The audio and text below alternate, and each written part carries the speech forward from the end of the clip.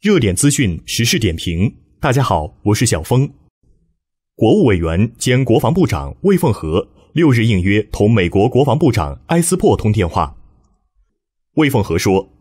当前中美关系正面临建交以来最困难、最复杂的局面，中美双方应认真落实两国元首共识，发展基于协调、合作、稳定的中美关系，努力实现不冲突、不对抗、相互尊重。合作共赢，中美谁也打不倒谁，对抗只能两败俱伤。两军要保持沟通协商、平等对话，为两国关系的稳定发挥积极作用，推动两国关系回到正常的轨道。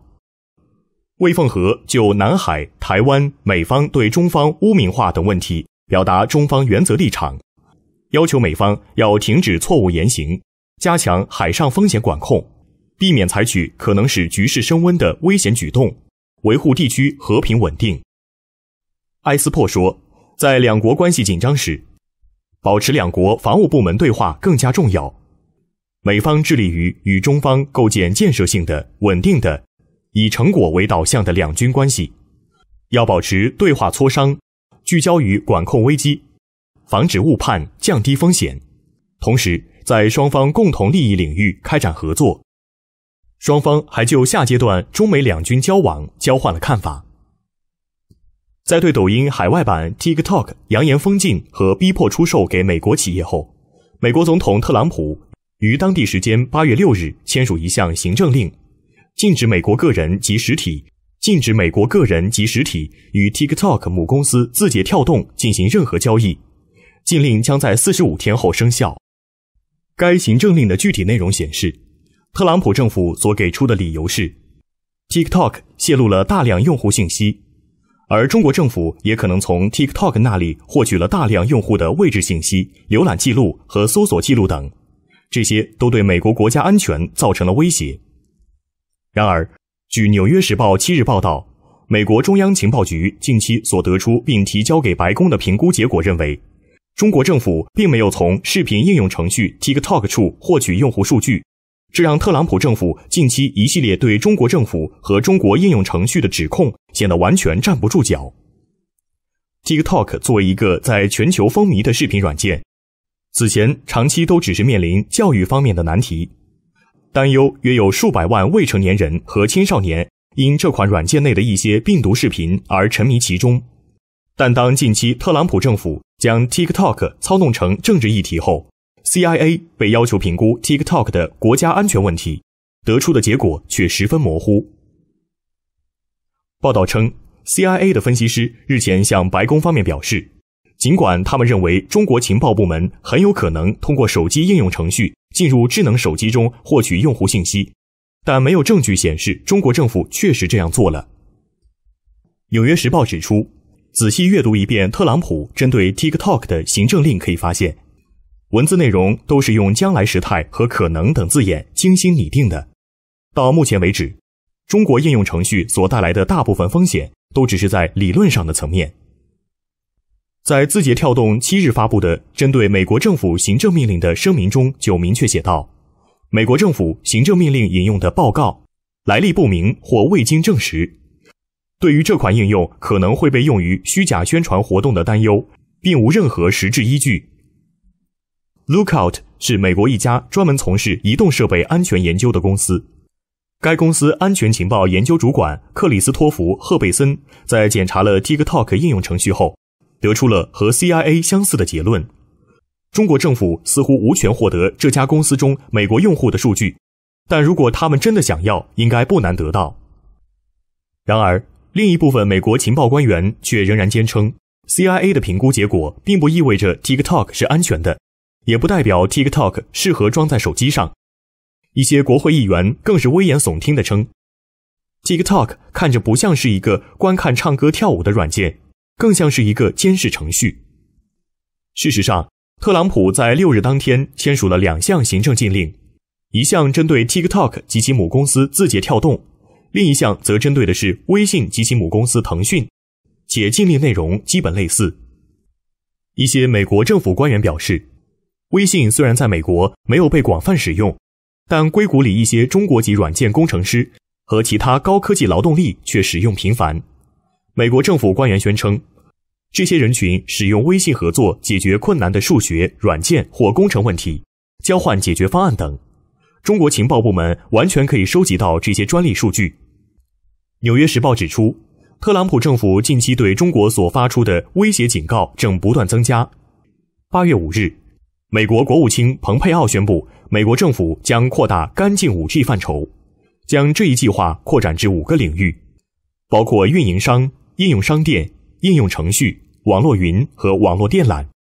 蓬佩奥扬言，不但要封禁 TikTok、微信等中国应用程序，还要封杀中国的海底电缆。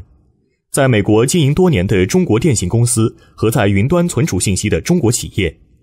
报道中还提到，此次特朗普政府针对 TikTok 和微信的禁令，是自去年采取措施禁止美国公司使用华为的通讯设备以来，程度最严重的一次。但《纽约时报》援引一部分情报官员的话称，TikTok 构成的威胁和华为制造的威胁一比较，就显得相形见绌了。对于美国政府不断在网络问题上抹黑中国的做法，外交部发言人汪文斌六日在例行记者会上回应道：“美方有关做法根本没有任何事实依据，完全是恶意抹黑和政治操弄，其实质是要维护自身的高科技垄断地位。”他指出，许多目前被美国单边制裁的中国企业都是无辜的，他们的技术和产品也是安全的，从来没有发生过一起类似斯诺登事件维基解密的网络安全事件，也没有发生过一起类似棱镜门、方程式组织、梯队系统的网络监听监视行为。美国自身浑身污迹，还在谈什么清洁网络？这纯属荒谬可笑。综合美媒消息。雅虎新闻十五日援引美国政府官员的消息发布独家报道，称美国总统特朗普曾下密令授予中央情报局更多发动网络攻击的权利，目标国家包括俄罗斯、中国、伊朗与朝鲜等。报道援引该知情官员的话说，二零一八年特朗普签署了一项总统调查令，给了中情局全面授权。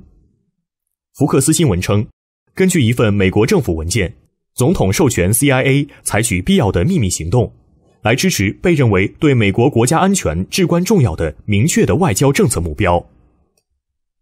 雅虎新闻称，与早前的总统调查令聚焦于特定外交政策目标或结果不同，新的指令聚焦于在网络空间展开秘密行动的能力。据介绍，这项秘密授权让情报机构在开展行动以及将谁作为目标方面享有更多自由。解除了前几届政府施加的诸多限制，使得中情局更容易地进行秘密网络行动，而不需得到白宫批准。雅虎新闻称，CIA 拒绝对其提出的一系列问题进行评论或回应，而美国国家安全委员会也没有回复记者的多次书面置评请求。美国中情局多年来对其他国家目标发动网络攻击，已是众所周知。今年三月的外交部例行记者会上，有记者提到，三六零公司经过调查分析发现，美国中央情报局攻击组织对中国关键领域进行了长达十一年的网络渗透攻击。白宫一直试图在政府的更多关键职位上安插亲信。六月十一日，退役陆军准将安东尼·塔塔被提名为国防部负责政策的国防部副部长。外交政策称，安东尼·塔塔。是特朗普的长期支持者。CNN 通过回顾塔塔曾经的一些公开言论后表示，塔塔也一直在表达与特朗普及其支持者类似的没有证据的观点，即阴谋集团试图破坏特朗普的总统任期。特朗普的对手宁愿看到国家失败，也不愿看到特朗普成功。而 CNN 在二十三日最新的报道还发现，塔塔曾在推特散播阴谋论。称前中央情报局局长布伦南想要推翻甚至暗杀特朗普。二零一八年五月，布伦南在推特上使用了死于暗杀的古罗马政治家西塞罗的话，塔塔就回复称布伦南的推特是对特朗普的威胁。虽然布伦南是一名无能的 CIA 分析员，我们必须假设他知道间谍技术，这是给某人的信号，在某个地方。西塞罗因政治原因被暗杀。这显然是对美国总统的威胁。这位推特用户继续问塔塔：“布伦南的推特是不是在暗示有人要暗杀总统特朗普？”塔塔回复道：“我想是的，不然他为什么在特朗普要求调查与他有直接关系的犯罪的同一天，引用西塞罗的话呢？严重罪行，叛国，煽动叛乱。”本期节目就到这里，感谢大家收看。如果你有一些独到的见解，欢迎在下方给我们留言。祝大家工作生活愉快，我们下次再会。